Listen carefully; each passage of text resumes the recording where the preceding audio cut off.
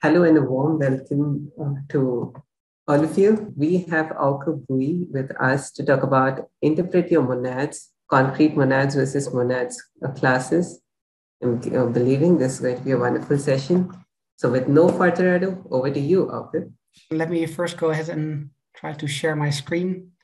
Welcome to the talk, and I have to say uh, thanks for the thanks to the organizers for for hosting this uh, this event, and uh, uh, it seems, seems to be going great. I'm very very happy to to see all the activity going around. So um, that's that's really really inspiring. Um, I want to talk about an aspect of uh, the Haskell language and how we deal with effects in Haskell. Uh, before I do that, I want to say a few words about uh, about Hasura, which is the company I'm working for. Uh, at Hasura, we're building a data access solution.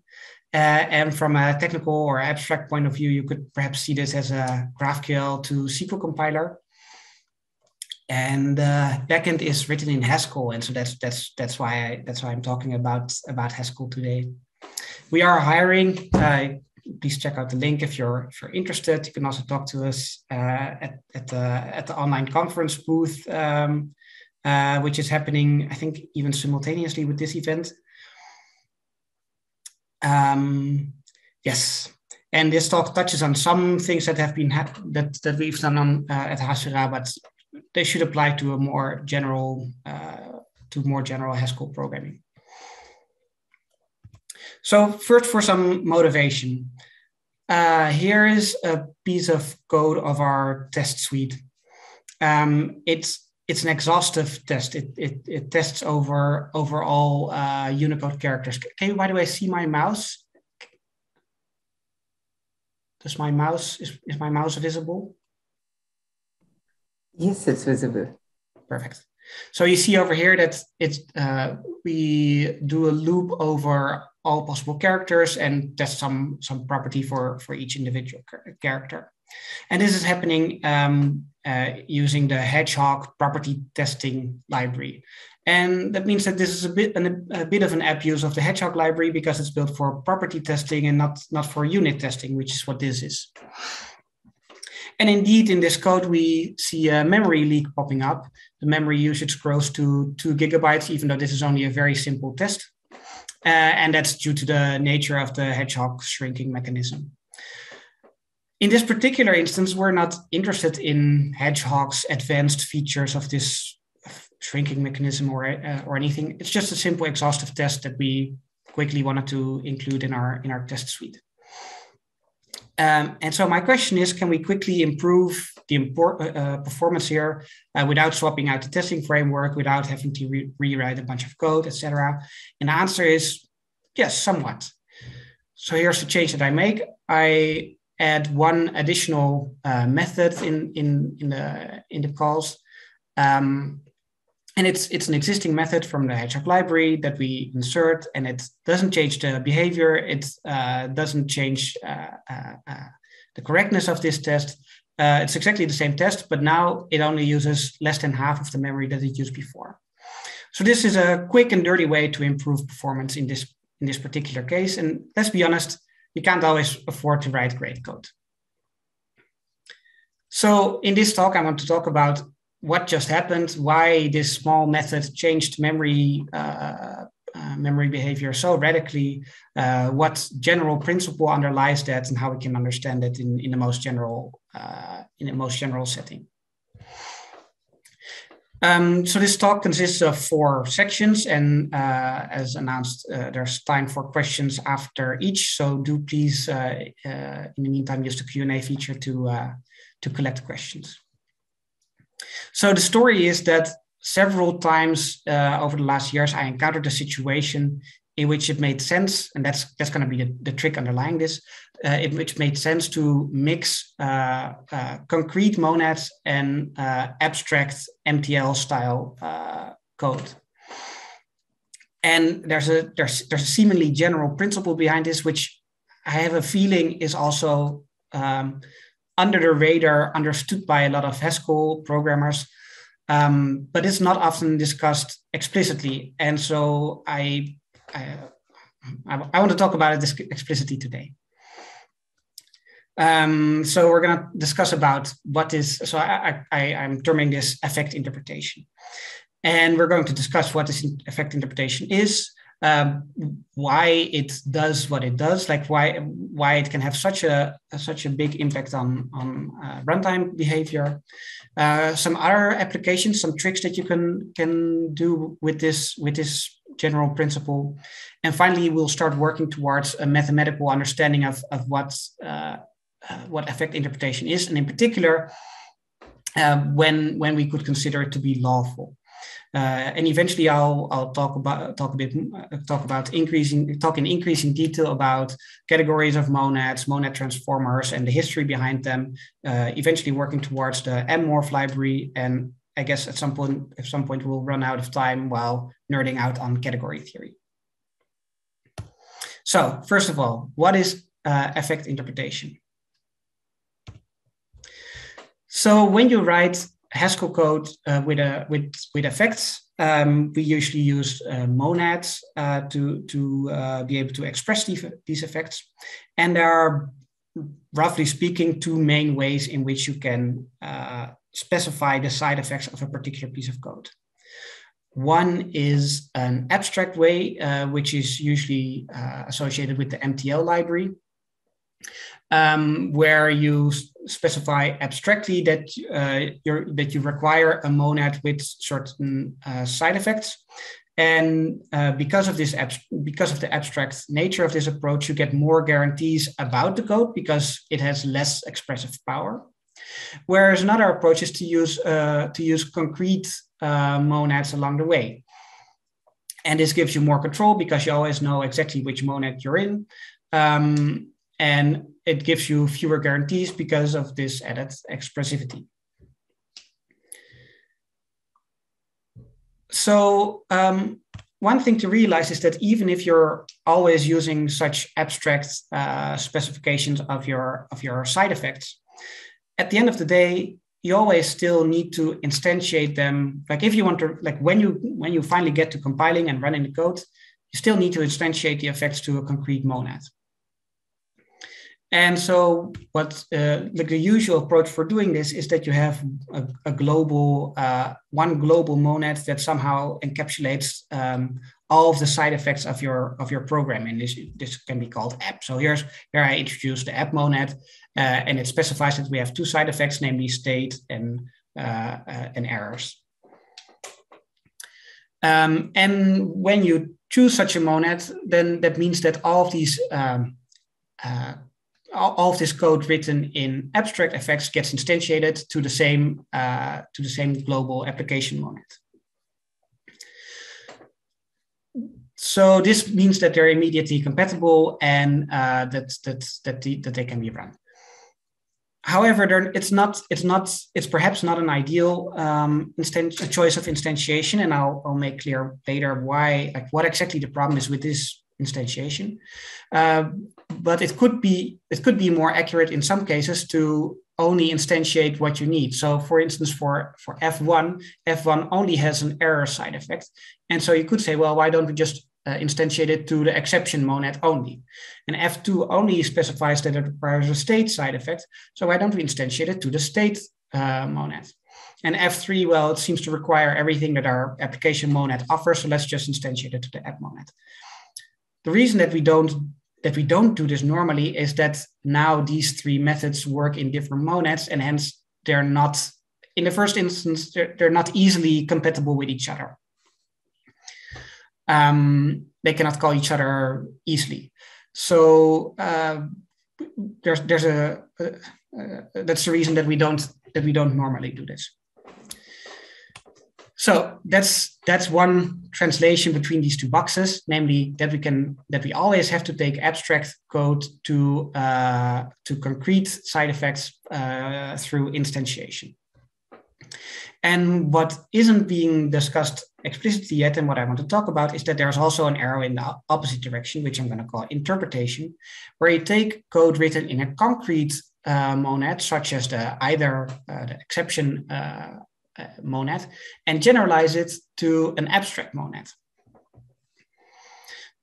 so how does that work? How, how, how, how, how can we do this interpretation? Um, and another question you might have here is like, what what happens if you if you go down and up again or up and down again? Like, what's what's what happens if you go if you do round trips along these arrows? So I'll show you how to how to do this interpretation. Here I take a concrete reader effect, like I could, I take uh, uh, uh, I take an output value in the reader monad and I interpret it in an, into an abstract monad reader M.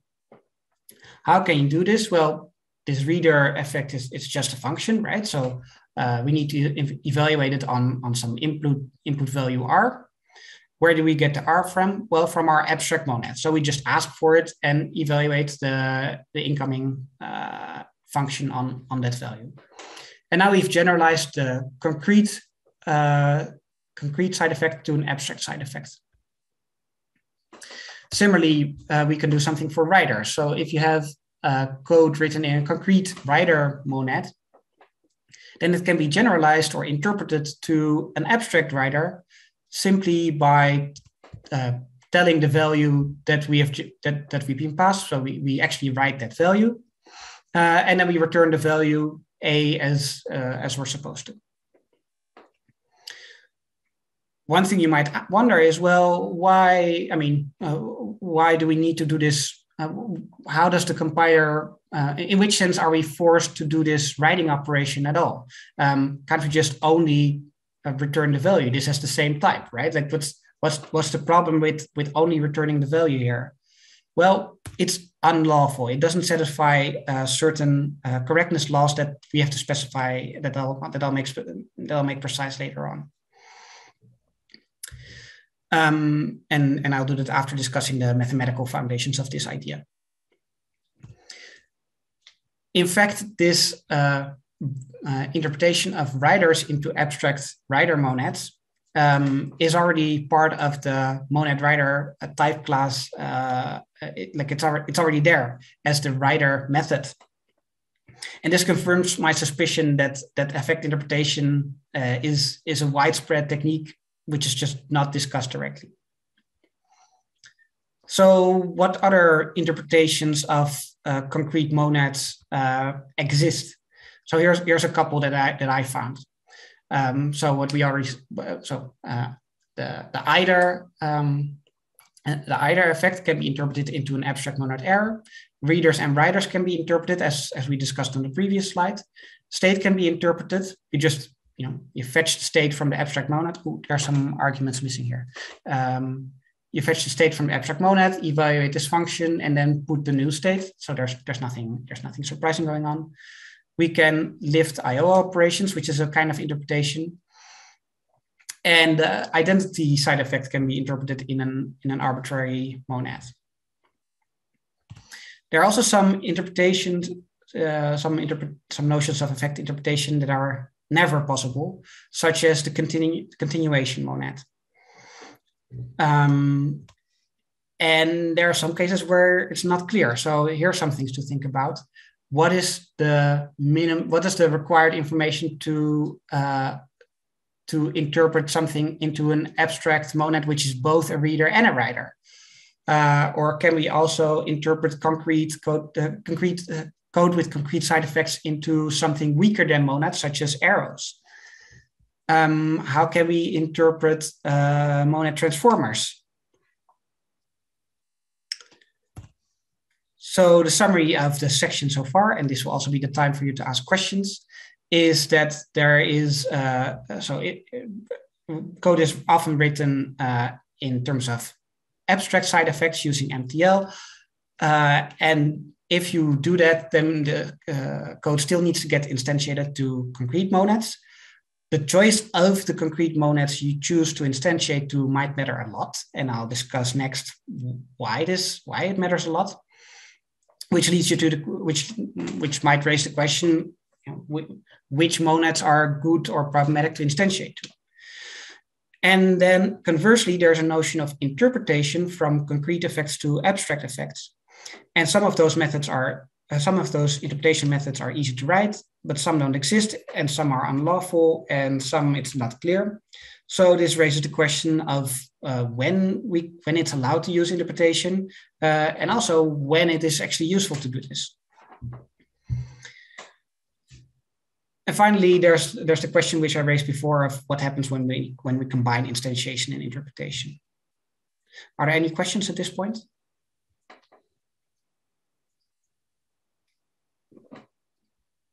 No, we're good. Oh yeah, um, actually, someone has raised uh, uh, raised their hand. Probably right now we cannot uh, take such questions. We, would be only be able to take typed questions. Let's see if we have time for audience to ask questions and unmute them.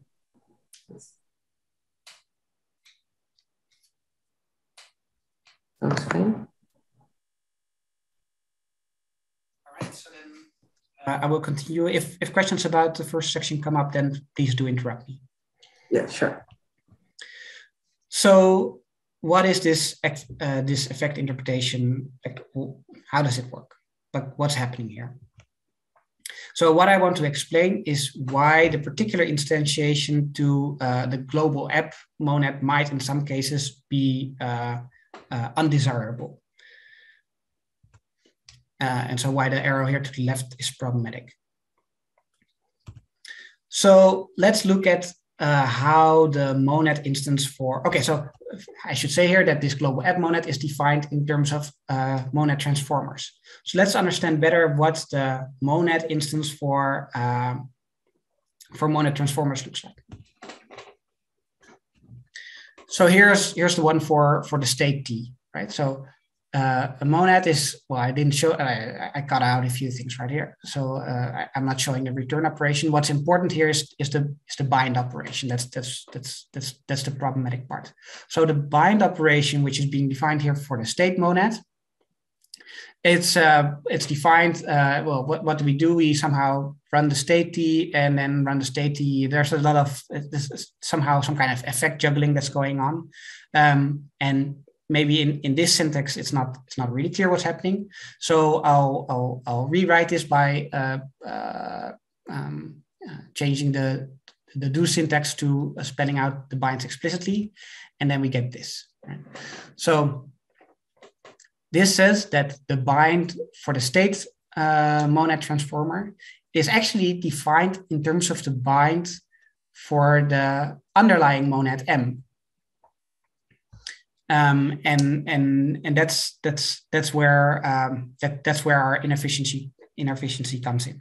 So, put differently, if you call the if you're in uh, the app, if you're if you're writing in terms of if your code is instantiated for the app monad and it uses the bind operation, um, it's going to call the underlying uh, bind operation from the underlying monad uh, un- until it reaches the bottom here. And that also means that if your uh, code uses a so if you have a very thick effect stack in your in your app monad, but you have a particular method that only uses one effect, it's still going to call the bind operations until it reaches the bottom. So here's here's kind of the, the, the visualization of that. So let's suppose that you have uh, that you have an effect stack with with with four. Um, so you have the, as the underlying monad, you have I/O, and then three three transformers. You have the state effect, accumulation monad, and a, and an exception monad. So for each of those, uh, each of the invocations of bind on the entire app monad, the uh, the, the um, bind oper- the bind operation defined for the exception monad is called a, is going to call the bind operation for the accumulation monad. And that's going to call the uh, uh, bind operation of the state monad, and that's going to call the bind operation of the IO monad. So in realistic effect stacks, um, the bind operation follows the chain of effects on each invocation of uh, the bind operation.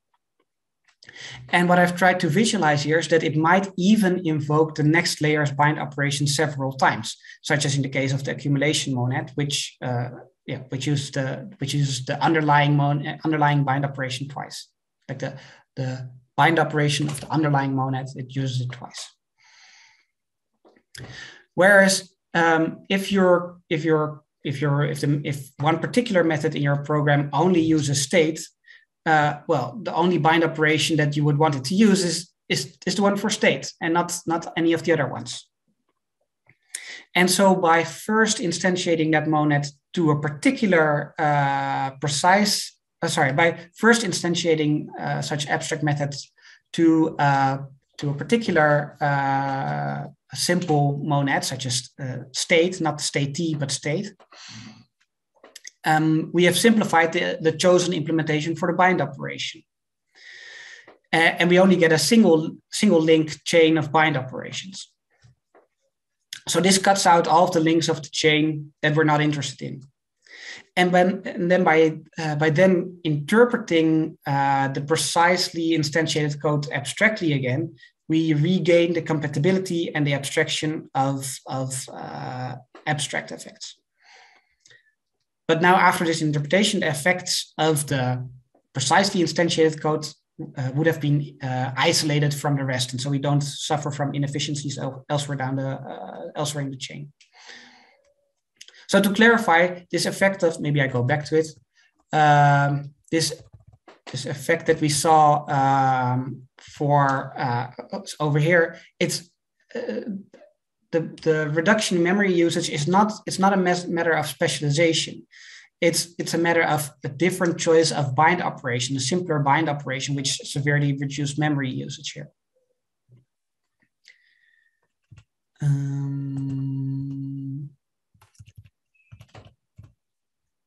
so in the opening example, we avoided some we avoided some uh, uh, some memory leakage without without any real effort to speak of. So you might wonder, well, what's what's what's kind of the general recipe here? What's the cookbook uh, scenario in which we should should do this kind of a trick? The ideal scenario is that you have calling code or uh, maybe application code which which has a lot of which has a lot of effects. Uh, and these effects are instantiated by an effect stack, so by monad transformers. And there are some callee code, some code that's being called that only uses one effect, but it uh, it uses the bind operation a lot. Um, so um, this, this, you could use this kind of a technique to avoid or reduce some memory leakage without any effort. Uh, we could also use this to um, to uh, optimize code that is quite simply being very heavily hammered uh, and and and and where every percentage of, of performance counts. So in summary, the bind operation for monad transformers suffers from a kind of weakest link effect, where even if you're even if some even if you're running a particular piece of code that doesn't use uh, the majority of the chain, it still suffers from inefficiencies elsewhere in the chain um, that it's that it's not interested in. And by using something like effect interpretation, you can cut out uh, the rest of the chain. Questions so far?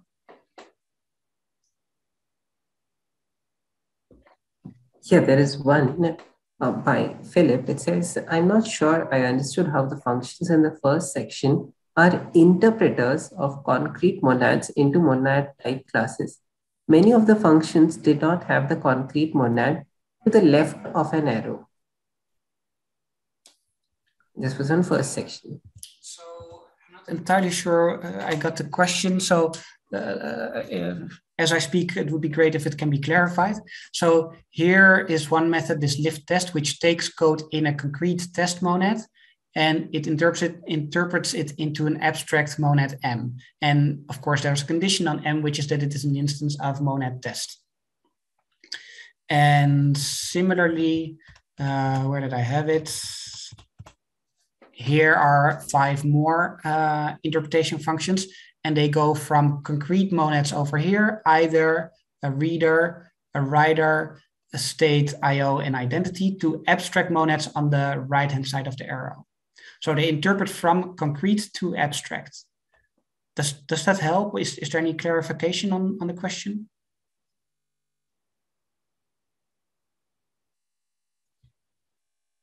And, and once again, I'm, I'm missing some type parameters here. I'm, I'm sorry for that should be monad state S, M, and monad IO, M.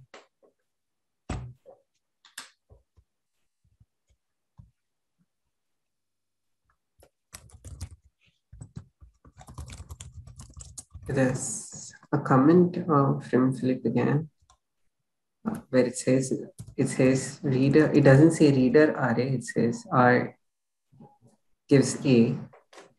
Yeah, ah, right. So I sorry about that. Yeah. So I this this is this is the underlying type of the reader monad. Uh, there, this is that's exactly the same as reader RA. So uh, a reader RA is literally a function from R to A, and similarly, uh, writer WA is exactly a tuple A comma W. Or, well, that's one of the possible implementations, um, but but it's it's the canonical implementation of the writer monad, and the underlying type of the state monad is a, a function uh, just like this. So I've I've simply spelled out the types. Uh, I've, I've spelled out the monads explicitly. Does that help?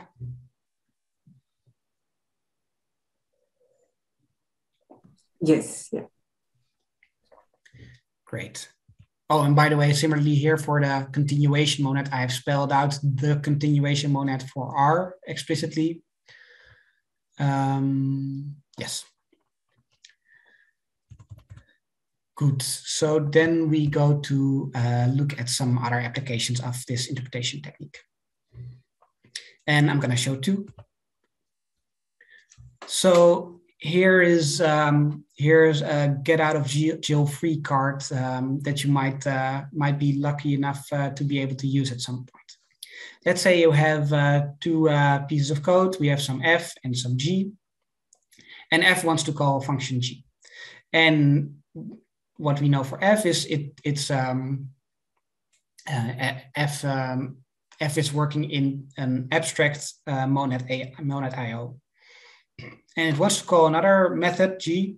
And uh, G also works in a monad IO, but it requires an additional constraint to be satisfied, namely that M is a monad fix. Well, at first instance, well, F cannot call G because uh, the compiler would complain no instance for monad fix. Interpretation can, can get you out of jail in this case, can, can help you save the day. Because what you can do is you can instantiate G, the method G, to the IO monad specifically. And the monad, the IO monad specifically, we do know that it satisfies uh, monad fix. We have a, we have a, we have an instance for monad fix IO.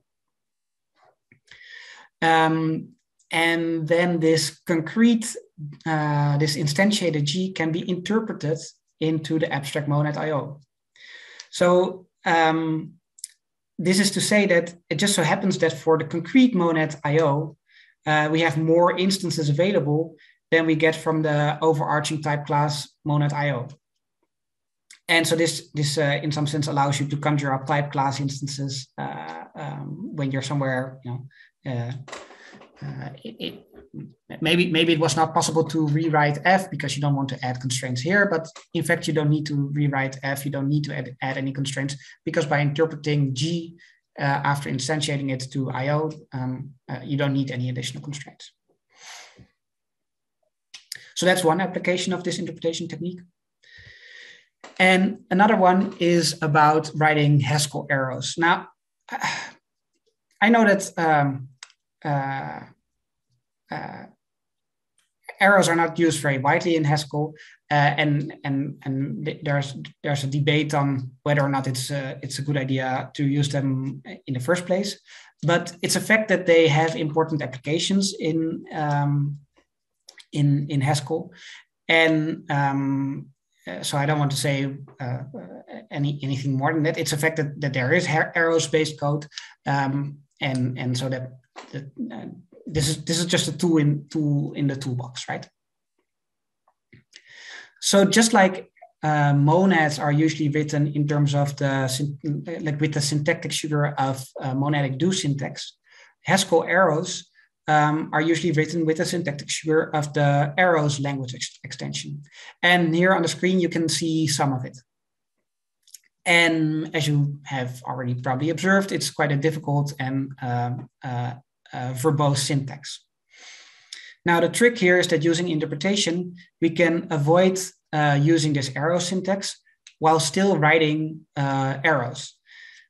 Um, so even if you've never seen a single uh, arrow syntax, you already know enough about monads in order to write some uh, Haskell arrows. So we can in fact, in fact write some Haskell arrows with monadic do syntax.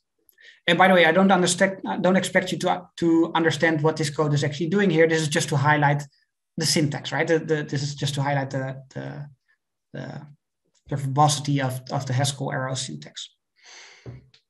So um, this code can be written in monadic do syntax like this. And having having written it in monadic do syntax, well, of course, we're going to get we're to get a monad. Uh, we're going to get a monadic. Uh, we're going to get code out with a monadic monadic effect. But this monadic effect can sometimes be interpreted in um, uh, into into abstract Haskell arrows. And to clarify, this is this can be done um, to build uh, Haskell arrows uh, Haskell arrows that are not instances of, of the Kleisli class. So, the, so non-Kleisli arrows, so non-monadic arrows can be written with this technique. All right, so that's that's two uh, funny applications of this interpretation technique. So next, I want to work to work towards uh, understanding when, uh, like, what effect interpretation is from a mathematical point of view, and in particular to understand uh, when we could consider it lawful.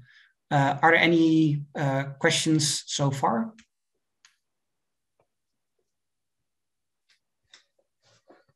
No, there aren't any new questions. Right, so let's jump into some mathematics. And I want to start with a citation from Andrej Bauer, or a paraphrasing by Andrej Bauer from Phil Wadler. Monads as a programming concept would not have been discovered without their category theoretic counterparts. But once they were, programmers could live in, in blissful ignorance of their origin. So today I want to say, let's look at the origins of monads for once. I think there are some lessons to be learned um, even from, from the original work on, on monads in, in uh, computation. I have to preface this entire discussion with the disclaimer that I'm going to set aside the question of whether there is a, a in a in, in in a true sense a category called Hask, uh, and whether whether or not you can truly do category theory in, in Haskell. Let, let's glance over that discussion.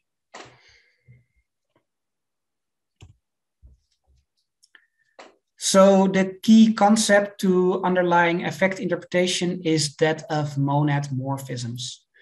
Um, monad morphisms are the morphisms of a category of monads uh, in Haskell. So I won't uh, won't dive uh, into uh, I won't I won't uh, spell out what monad morphisms are in detail. Although I get I'll, I'll, say some things about it later on. in fact, it's it's not really important. Um, the key thing to know is that monad morphisms are certain polymorphic maps like this that has have to satisfy some uh, conditions. So one is naturality, uh, that they're natural transformation. Um, and, and then there's, there are two more conditions that essentially say that they're compatible with the monadic structure on M and on N. Um, so the interpretation functions that we've seen before are all uh, monad morphisms. So, so here I've, I've, I've copied a bunch of them. So, so lift IO is, uh, an, is an example of a monad morphism.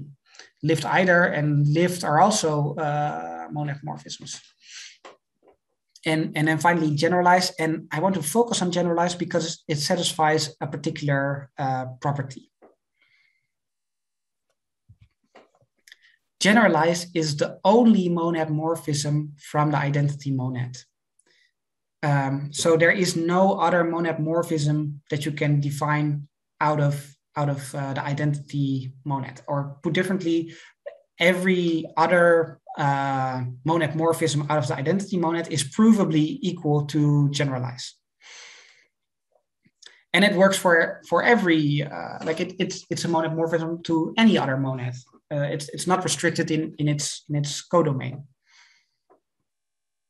So to spell that out in, in category theory terms, in the category of monads, whose objects are instances of monads, so the objects are Haskell monads, and whose morphisms are monad morphisms, identity is an initial object. So this is spelling out the fact that uh, from identity, there's exactly one monad morphism to any other monad.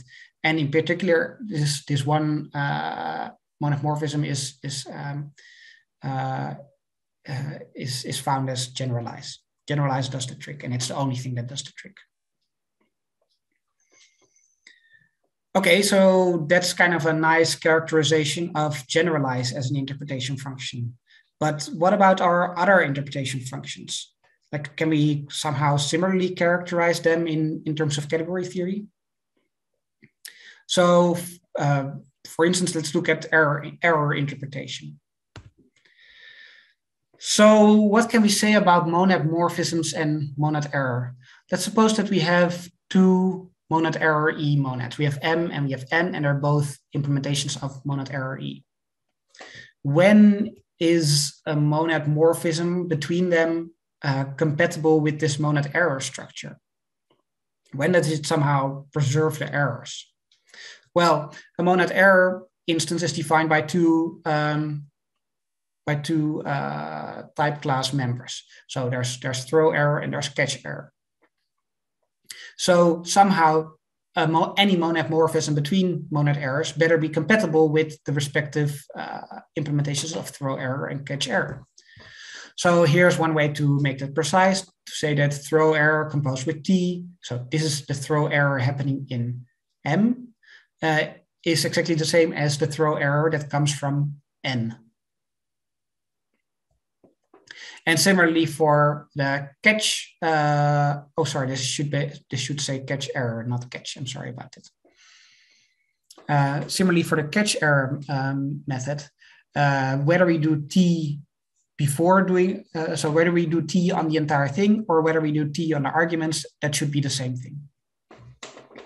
And so if these conditions are satisfied, then we, we might call such, such a monad morphism T, we could call that a monad error monad morphism. So the T is a monad error monad morphism if these two additional constraints are satisfied. So with like having said all of this, I can say the magic property of error interpretation.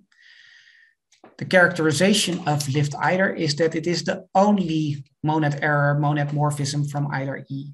It exists uniquely as a map to any other monad error E. In other words, lift either is the only monad morphism out of the either type that is compatible with monad errors. Again, phrasing this in some more uh, category theoretic language. In the monad error E category, whose objects are monad error E monads, and whose morphisms are monad morphisms compatible with those errors, either E is an initial object. So this, I think, characterizes our notion of effect interpretation that, um, that there are certain initial objects in categories of monads.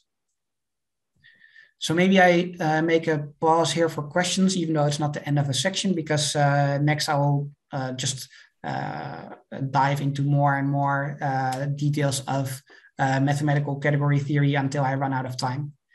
So this would absolutely yeah. be a good question to ask questions. Yeah. Um, we have one question, uh, uh, and yeah, just a small reminder that we are just five minutes to the end of the session. Mm-hmm. The question is: Is uniqueness important here? So um, uniqueness is not. Uh, I mean, I mean, in in Haskell land, it is not something that you uh, observe. It's not something that um, um, that is somehow uh, visible on the Haskell side. For me, it is a motivation that so the, the uniqueness expresses that in some sense. So for either here, that either is the most basic and the most fundamental representation of errors. You could also consider other implementations for which this uniqueness property is not satisfied, and then there would also be a valid notion of interpretation. Uh, but then you don't have. Um, so once you, once you let go of this uniqueness, then there's there are choices to be made on which which monad morphism you choose, and that means that um, in general there could be a behavioral difference um, at runtime on, on on which in, which uh, which interpretation you choose. So this is, um, so, okay. Is it important? Well, it means that there is, so when you have this uniqueness, then it's a thing that you don't have to think about. It's it's a it's a guarantee that you have. Uh, it's um, yeah. So uh, do do would I would I restrict interpretation to only those cases where we have the uniqueness? No, I think interpretation makes perfect sense also when you don't have the uniqueness. But when you do have the uniqueness, I, I think there's a more uh, there's a more clear mathematical modeling of, of of what we're doing. I hope that helps.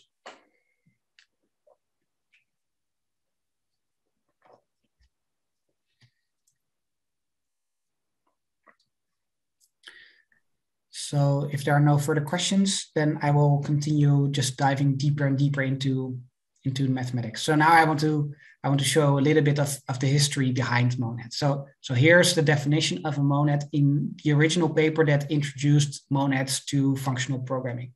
It's from 1989, this paper. And here's definition 1.1 defining a monad as, as a triple T eta mu. And, um, and this eta is, is the, it's, it's what in, in Haskell is called the return operation and mu is the, in Haskell is called the join operation. And uh, the point here is, is not to understand the mathematical symbols and the details of, of, of, of the, of the notation here. It's just to show that uh, this this uh, the monads essentially in essence are a very old concept um, and yeah the, the, their haskell uh, haskell version now now looks something like this of course and i want to talk about this because um, um, well, what i want to work towards is that uh, also monad transform. So I, I, think this is not broadly known uh, that monad transformers are also not such a new idea. In fact, also already in 1989, monad transformers were were uh, were, were, being considered, and I'll, I'll, I'll, I'll show that in a few slides. So first of all, to so one of the main things that that uh, that that that uh, Eugenio Moggi was was was doing in this paper is explaining concepts in functional pro programming in terms of uh, uh, category theory and pure mathematics. And so, um, if you want to do, so, sorry, was there a question or? Uh, yeah, actually, just a reminder that we are uh, at the end of our time. So, can you wrap up the session in a minute? Sure. Let me let me very quickly show you some uh, some uh, so one or two final slides, and then then I then I wrap up. So uh, I quickly show you that um, that here is here's uh, Moggi's uh, representation of monad transformers, also already from 1989, and um, and what what Moggi then continues to look at is is whether these monad transformers themselves have some kind of object, uh, have some kind of category theoretic uh, meaning, and that is when he when he's led to the question of when a monad transformer is a functor and or uh, a monad itself. And that leads us to the to the uh, mmorph library in, in Haskell. So the takeaways takeaways of the talk is that um, we can optimize MTL based code pretty much for free without without much elbow grease. And sometimes it's a lot, and often it's it's just a few percent, and it's very often in the premature optimization domain. So uh, I definitely wouldn't recommend anybody to apply this kind of technique uh, too broadly. I don't wish want I don't wish to advocate for or criticize MTL or extensible effects, uh, algebraic effect handlers, etc. No, it's, it's, just a tool in the box, and let's talk about uh, let's give let's give the tools in our box a name. And this tool is a compatibility between MTL-based code and code based on uh, concrete effects that uh, also as, as, a, as, an, as an alternative application allows us to fulfill type class constraints that are not, not in scope. It allows us to write arrows with monadic do syntax, at least sometimes.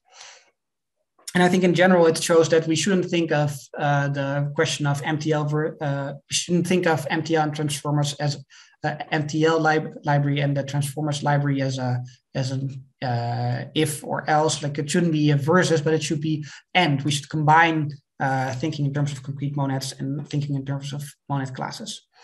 I think it's important to understand the category of monads better. Um, even if surprisingly, for the most part, the mmorph library is, is not central to this, uh, to this question. And with that, I guess I wrap up. Thank you very much for your attention and the good questions. Yeah, thanks a lot uh, for your uh, uh, time and the wonderful session.